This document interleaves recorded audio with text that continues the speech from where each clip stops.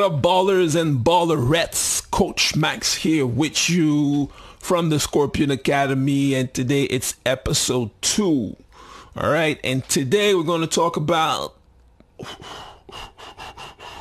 ball handling, right? Ball handling, and no, we're not going to talk about how to impress the girls or the girls trying to impress the boys. All right, we're going to talk about how to be quick effective, decisive, and precise with our ball handling. And we're going to talk about the connection between here and here because you need to have here very strong to be able to do that during a game, right? Tough defenders, uh, they they move their legs, they have hands to disturb you and all that, and you having trouble to pass them because they are very like ferocious and you'd be like, oh my God, what is, why is he like sticking up to me like that? You need to be mentally prepared for that. And there's a way to prepare when it comes to training and workouts. All right. So we're going to talk about how to train uh, and how to mentally approach the workout in order to perform during games. All right. And not to be afraid of the tough defenders because we're going to use that as an advantage for us to become better ball handlers. All right. So do not forget, put your likes, notifications, and uh, what is it? likes, notifications, subscribe, because uh, that will help me motivate me to continue to give you good content about the mental approach of basketball. So get your notes. I have mines. Get your popcorn if you need it to. Get ready. It's about to go down. Let's go. You should always stay focused. What up, ballers and ballerettes? What's up? Coach Max with you from the Scorpion of Academy, episode two. We are talking about ball handling and the mental approach that we need to have in order to become better ball handlers. So let's get to it, fellas and ladies, of course. All right. So the first two clips that we saw, the first one was Uncle Drew. As you saw, it was a basic and very simple move, switching hands from right to left and then finishing with the left hand. But if you go back to it, you see how quick, fast, and effective the move was in order for him to go and finish with the layup. All right quick, fi- quick, fast, decisive, and precise. All right. Second one, that was me um, putting my opponent to sleep, switching hands left to right, right to left, and then blow by and then finishing with a layup. Guys, this is ball handling. All right. This is ball handling. As simple as it looked, this is ball handling. Nothing flashy, nothing fancy, but that's what we want. That's the thing that we are looking for because we want to be killers, assassins when it comes to basketball, right? Especially when it comes to ball handling. We want to be effective because we want to go somewhere and there's plenty of ways to do it without being flashy, fancy, and doing a millions of dribbling uh, in order to do that. All right. So keep that in mind. So when it comes to the mental approach that we need to, to have when it comes to basketball games, especially if we are the ball handler, we are the point guard, all right? Guys, first thing, super important, never, never, ever, never, ever, ever, ever, ever, ever, ever underestimate the opponent in front of you. The defender who is in front of you is hungry and he wants to put you down. He wants to shut you down. He wants to steal the ball. He wants to show the world that you are not as good as people think, especially when it comes to you being a, a, known basketball player in your area, people know who you are. Well, trust me, that defender is hungry and he's after you and he wants to prove to everybody that you are not the guy or the girl, right? So guys, do not start by putting all these negative thoughts in your head by saying that, oh, he doesn't look too tough. I got this, whatever. You know, what's going to happen maybe is that it will be too late. By the time you decide to be on your serious mode, it might be too late. because the defender, uh, while the game was was going what was going on, his confidence might be to the roof now. And by the time you decide to switch on your serious mode, it might be too late because you won't be able to reach the same level that he were to where he's at right now. It's going to be a problem for you. So it's going to be probably your worst game ever. By the time you step on the court, you have to be prepare. You have to be ready right now. Do it now. Start now. Remember your ABCs, your fundamentals. Remember all the workouts that you did for the last two, three, four months. This is why we are here. This is why we play the game to show the world what we are capable of. We cannot hesitate. We cannot be afraid. And definitely and most definitely never take anybody on this court lightly. Never. All right. Second of all, guys, we want to be ball handlers. We want to be we want to be point guards. We, want the ball in our hands. We want the coach to, to to place the ball in our hands when it when it's crunch time, clutch time. Guys, fear is your worst enemy. Fear is a virus. Fear will destroy you as an athlete. All right.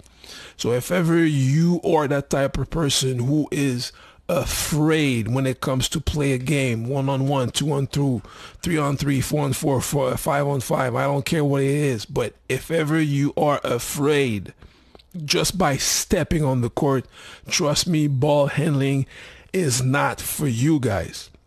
You need to do something else. Go set some picks, right? Do something else. Because I know players who do not like to do that, that kind of job it's all right, but they are good players in different ways, all right?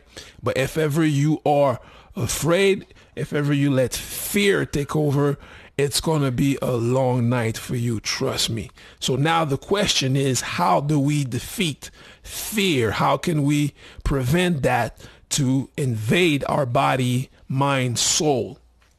Training and workout, guys. Training and workout first thing first, guys. First thing that we need to do when it comes to the training. You know, the stationary dribbling is a good warm up before starting the real stuff. Like you see Steph Curry when he's on the sideline as the pregame, uh, the warm ups that he does with the ball. You can use one or two balls. It doesn't matter. I don't care.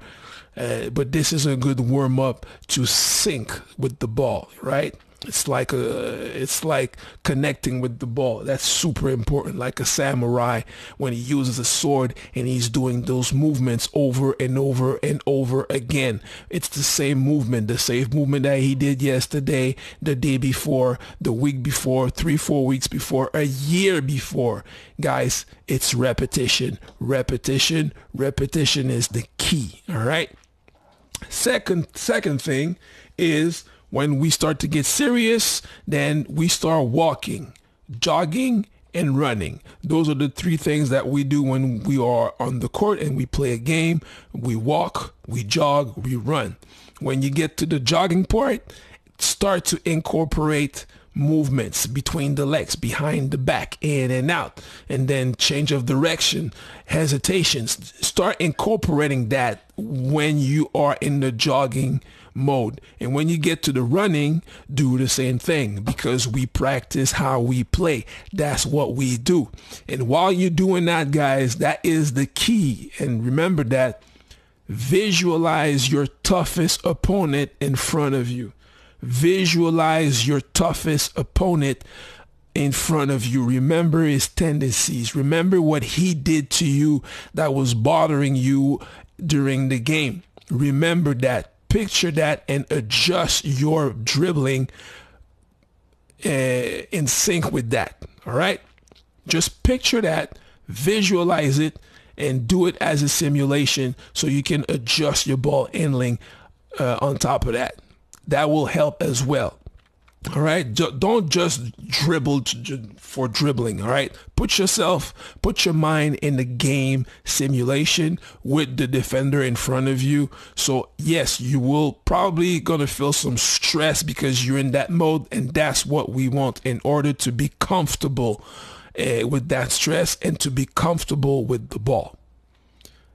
Other thing too, guys, if ever you have a teammate who wants to improve, who wants to get better, call him, get his email, Get his Facebook, his Instagram. I don't care what you, how do you could communicate, but get in touch with that person and do those drills with him. Make him be the defender or switch and after that. That it's even better as a workout. Do it for 30, 45 minutes, but be very serious about, uh, about it, guys. It's very important. And trust me, that will help you. I know it sounds weird, but trust me, I, I've been doing that for the longest, and trust me, it helps a lot. All right? Remember that. So, my good people, this is what we have for today. Quick recap, guys. Like I said, the stationary dribbling as a warm up, that's a good warm up to start. And then we get serious walking, jogging, and running.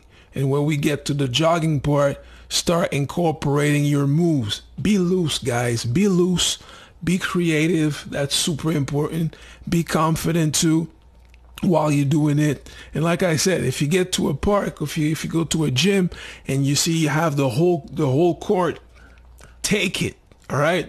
Take advantage of what you have. So if you have a full court, take the full court and do these moves back and forth that will put you in a simulation in a game simulation that's that's it's perfect guys it's perfect and don't forget you train you practice how you play so train like it was a game picture your toughest opponent and don't forget simulations guys so just remember all the things that happened during that game that you want to rectify you want to correct all right so adjust your dribbling in order considering that. All right. So if you have a if you have a friend, a teammate, you have your, your, your boys, your girls with you, and you know they want to train, call them, get in touch with them, go to a park, go to a gym, and try this. Try it. It works, guys. Trust me, it does work. I've been doing this. I tried it. I teach it to people, and they even them they are surprised. Like it works. Like yes, it does work. It takes time and discipline. Like I said, three days a week, go to four. In the next three months, you're going to see results. All right. But trust me, you need to be disciplined.